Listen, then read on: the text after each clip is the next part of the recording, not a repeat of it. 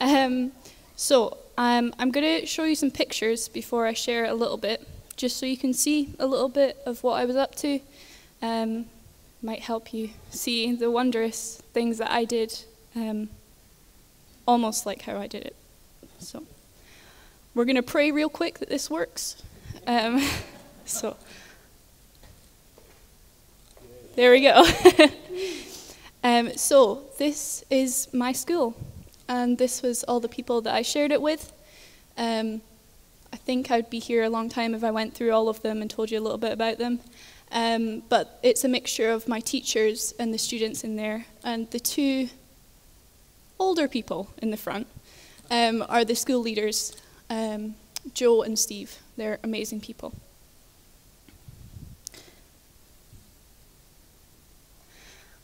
Work service.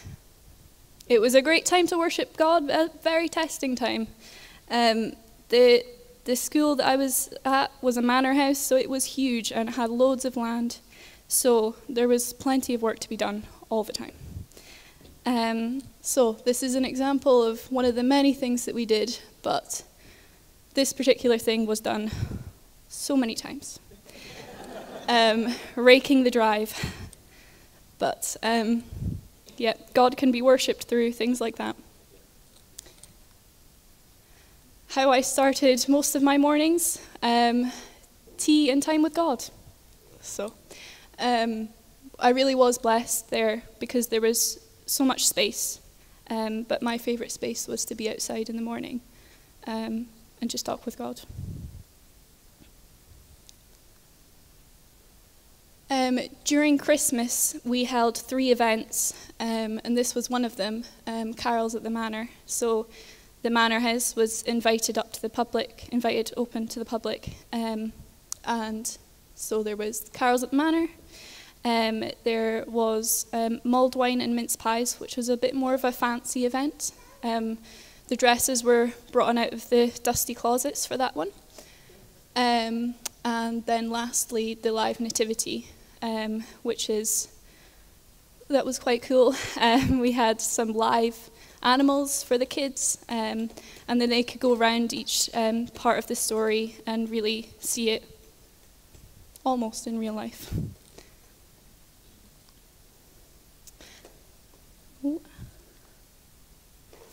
Um, this was the girls that I shared my room with, so there was eight of us in total, which was um, amazing but very challenging.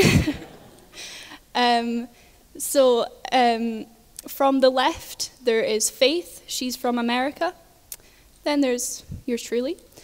Um, then there's Yara. She's from Switzerland. Um, Marisa from Germany. And then from the, the bottom, um, from the left, um,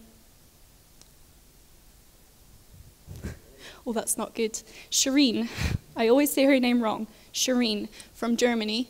Um, and then Ananda from Brazil and Italy, Sophie from Germany, and then Arissa from um, the United States. So there was people from all over the world, um, and it was really cool to experience cultures in my culture, um, but definitely challenging. Um, so to Argentina we went. Um, this was what they call asado, which is basically an Argentine barbecue. Um, but um, it was such a wonderful experience. Um, they really pulled out all the stops for us.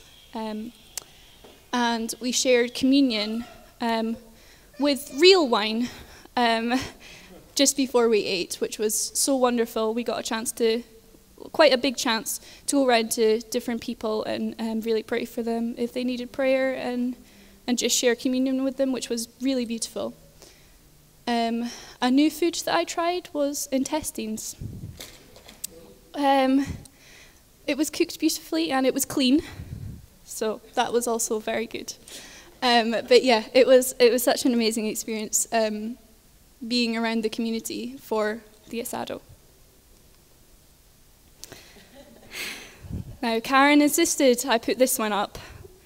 I wouldn't have chose to put this one up, but that's okay. Um, one thing, one type of evangelism we did was we went to a neighborhood in Argentina, in one of the areas we were staying at, um, and we had bags of sweeties with a Bible verse, and we would just give them to people.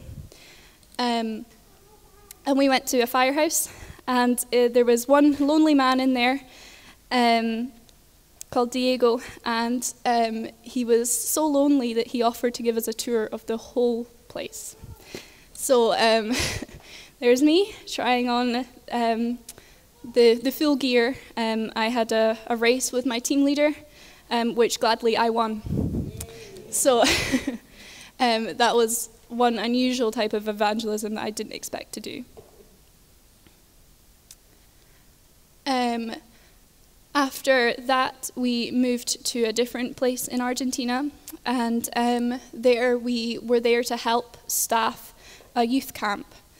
Um, so there was maybe 30 to 40 teens that came um, just to learn and praise God, which was absolutely incredible. Um, here was one of the worship nights that, um, well, worship days, um, that really brought a lot of breakthrough for many teens. Um, and that was just incredible to walk that journey with them. Well, a very short journey, um, but yeah, they were so, so lovely.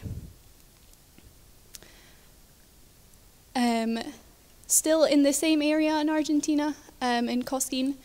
Um, this is us in one of the squares in town, and during the time that we were there, they were hosting a huge music festival um, that did lots of different folklore for them.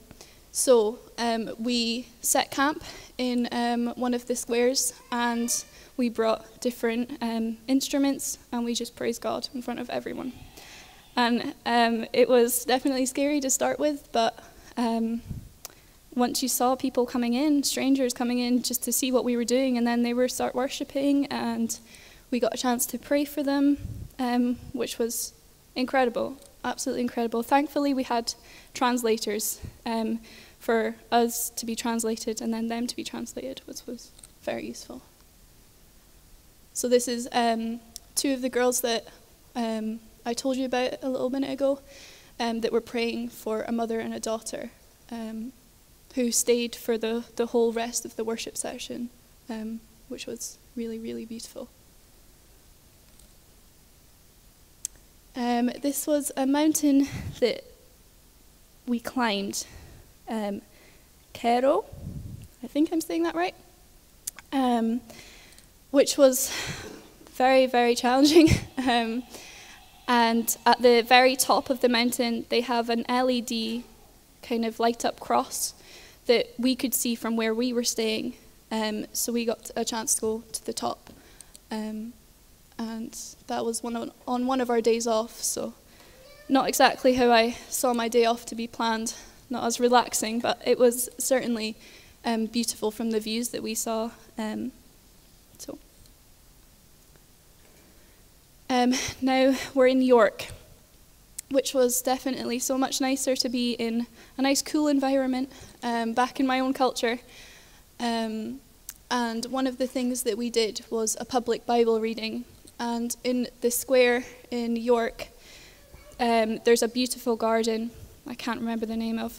Um, but we just we sat down and we opened our Bibles and we um, read through all of Matthew um, and we each took turns and maybe a coffee break in between to warm our cold hands. Um, but there was quite a few people that came over to us and or would stop and just be really curious. And um, in fact, uh, a man came over to us and said, "What are you doing?" And we were telling him what we were doing and why we were doing it. And um, he said, "Well, my mother sadly passed away, but I have these 300 odd year Bibles if you would like them. So we got these 300 year old Bibles, and they were really interesting to read and to look at. So sadly, I didn't get to take them home for you all. Sorry. um, another type of evangelism I didn't expect to be doing was playing with bubbles. Um, in the just on front of the minster, we set up some bubbles and some um, different things for the kids to play, and it was a real good opportunity for us to talk to the parents while the kids were distracted. Um, so that was that was really special. Um, a best friend that I made while I was away was Faith. Um, we were pretty similar in our sense of humour and everything else, so we clicked really quickly. And her family um, came from America for our graduation, so this is us all um, in in the manor, kind of the night of graduation, just socialising with them and, and learning more about them. And they are such a beautiful family. That's that's all my photos. So, um, one thing that I learned about in my lectures was um, spiritual warfare, and I didn't expect to really um, experience it while I was away. Um, and it was mainly on my outreach that I experienced a lot of it. Um, a list of things that I had to deal with, not so um, positive. I had COVID very soon into my time in Argentina, so I was isolated away from everyone else, and I was the only one that was positive, so I was completely separated from the others, um, which was challenging. And during that time, um, I just, I really felt like I hit rock bottom. Um, and I got the news about Karen's grandmother, and I really wanted to be home for that, but um, I was there in spirit. Um, yeah, I, I, really did hit rock bottom. Um, I, I would have lots of panic attacks in my room, and um, that one time that I actually really did want to be with people, I couldn't. Um, so that was that was challenging, but God gave me peace. And then I was able to leave, and I got to socialize with everyone, catch up with everyone again. Um, and then I got a heat stroke, and I got another heat stroke, and a few more after that. But God gave me more peace. Um, just before we left Argentina, um, my mum went into hospital. That kind of hit a stumbling block for me. I really wanted to be home, and I just didn't want to be there anymore. Um, I broke a toe.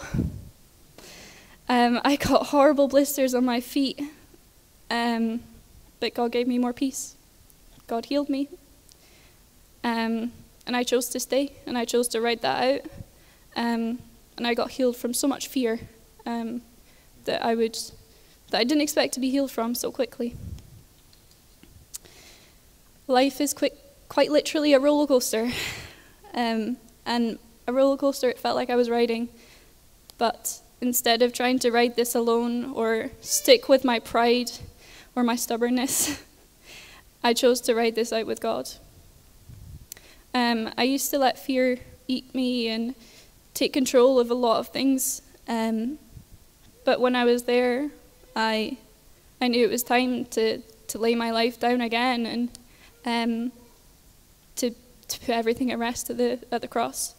And it was then that my life was changed. Um, like Jonah, I tried to my hardest uh, to not face things or to not deal with things. Um, but but when I felt felt fragile, um, that was when God was really close. And although I was separated from others or or separated from doing things that would maybe um, bring me closer to God, um, He was right there with me all along. And after all those horrible things that I um, dealt with or, or experienced, let me tell you, God is so much stronger. So much stronger. The only thing we should fear in life is God, because nothing is equal to Him. Nothing is as powerful as Him. And He led me through so many dark tunnels, and that's okay. There's going to be loads of dark tunnels, I know that I'm yet to face or that we're yet to face. Um, but each time I know I'll be closer to Him and closer to trusting Him more and more. Um, one verse that really encouraged me while I was away um, was 2 Corinthians 12, verse 10. That is why, for Christ's sake, I delight in weakness, in results, in hardships, in persecutions, in difficulties. For when I am weak, then I am strong.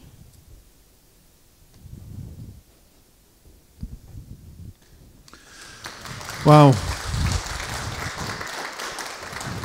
Isn't that amazing? He did so well. She wouldn't have done this before. What does James say? Consider it pure joy, my brothers and sisters, whenever you face trials of many kinds. You had loads of those. Yeah. Because you know that the testing of your faith produces perseverance.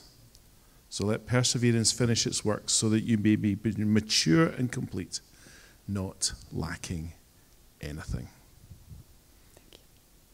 Thank you. So much, Erin. Will we pray for her again? Yeah.